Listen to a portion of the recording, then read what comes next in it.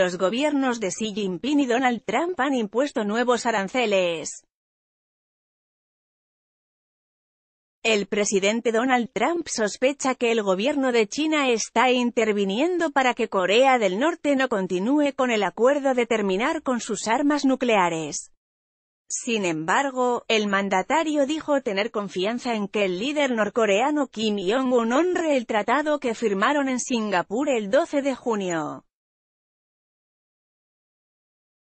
Tengo la confianza de que Kim Jong-un honrará el contrato que firmamos y, más importante, nuestro saludo de manos.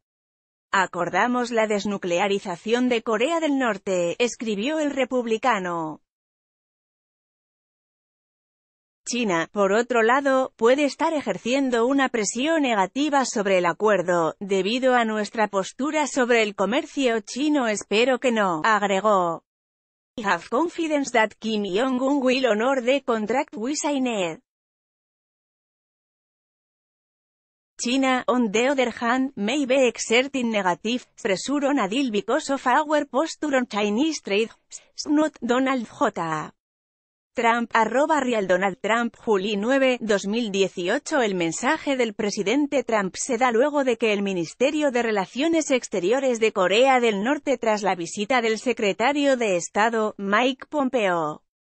afirmara que el gobierno del presidente Trump tiene tácticas gangsteriles, aunque Jong-un aún quería construir sobre la relación amistosa y la confianza, forjada durante la cumbre en Singapur el 12 de junio.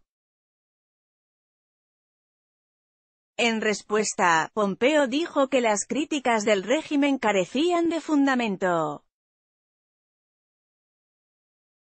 Si esas peticiones fueron parecidas a un gángster, el mundo es un gángster, dijo Pompeo, y señaló que las demandas de Estados Unidos para que Corea del Norte termine con sus armas nucleares reciban el respaldo de un consenso entre los miembros del Consejo de Seguridad de la ONU.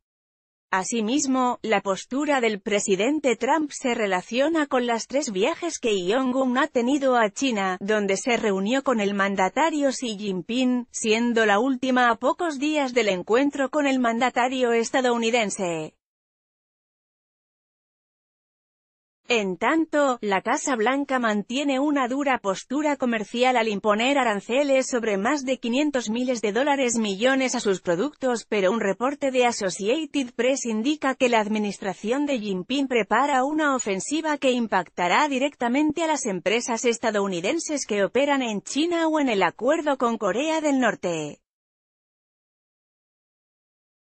López Obrador afirma reitera que no aumentará el precio de la gasolina 9 de julio de 2018 ¿Cómo ver la Copa Mundial Rusia 2018 por Internet? 13 de junio de 2018 ¿Por qué preocuparía a El Chapo la extradición a Estados Unidos? 8 de julio de 2018 Los mejores suplementos y recetas de licuados para limpiar el colon 5 de julio de 2018 ¿Quién protegerá la vida de AMLO? 8 de julio de 2018 Los 6 estilos de tenis Lacoste de hombre más cool